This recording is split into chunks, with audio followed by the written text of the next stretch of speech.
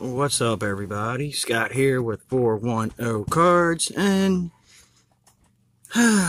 stopped at my Walgreens, and they had the last box of the Prime Pack at the Walgreens I went to. I'm sure you can probably get them from another Walgreens, but this one caught my eye because it has a Barry Bonds um, insert card, and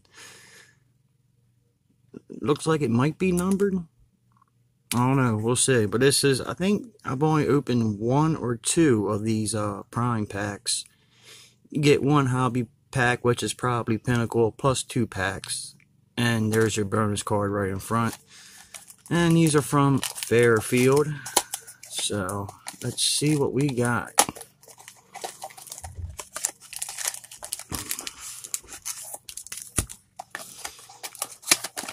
And as you see in the back, we got two graded cards from A-Rod. Alex Rodriguez got his upper deck rookie card, 8.5. And we got a 2008 Donruss Diamond Kings number two. 309. So, with that being said, let's put this on the side right here. So, here's our bonus card. And it's not numbered, but I, what is this? From 2000 Pacifica. Still not a bad card.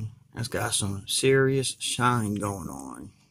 Mm, let's put that right there. And our packs are I wasn't expecting that.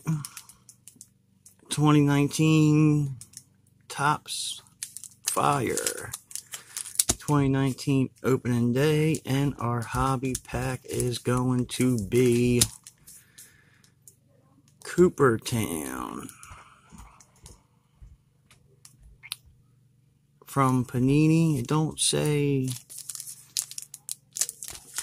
Mm, but yeah, was it? That's a nice pack to get in one of these. Topps Fire. I guess we'll go with this opening day.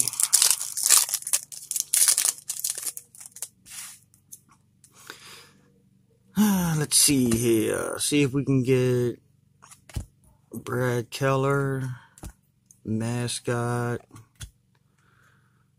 Corey Seager, and Jeff McNeil.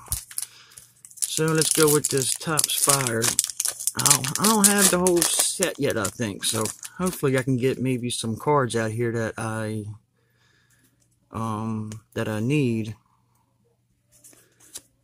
Here's the back of these, which probably already seen. George Springer.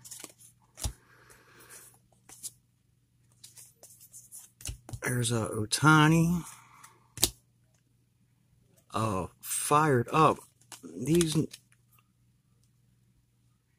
no, this ain't numbered.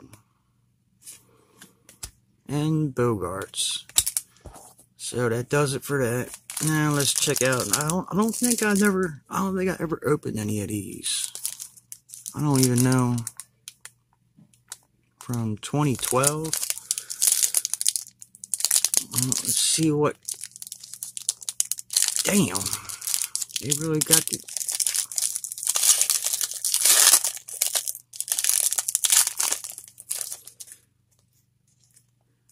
Alright, let's see here.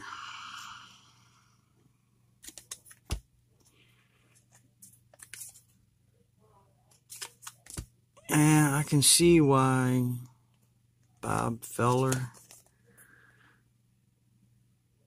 I can see why I've probably never opened any of these. These remind me lot like them Babe Ruth cards. A lot. So, I probably won't buy these again. But you never know. I have gotten some good things out of these boxes. So, hope you enjoyed the video. Until next time, see ya.